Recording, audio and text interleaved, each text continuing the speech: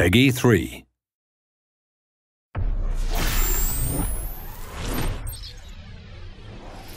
Combining the power of the Ignite engine as well as the power of the new consoles, it means that we've got a lot more memory. What memory does, it means that we can put a lot more content within our game. So Elite Technique is this concept of being able to uh, provide the player with a suite of moves and animations that they haven't had the, the ability to do in previous FIFAs. This includes new flicks, traps, slice lobs, shoulder and chest passes, just the kind of variety we've never had before.